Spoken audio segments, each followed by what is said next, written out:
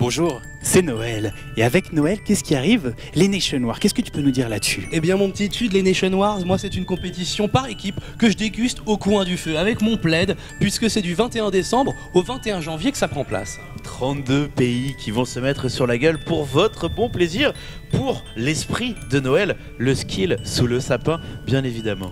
Et bien évidemment, en partenariat avec Blizzard Entertainment. Donc on est très content, on vous attend tous, ça va être incroyable. On vous attend. A tout de suite sur le stream.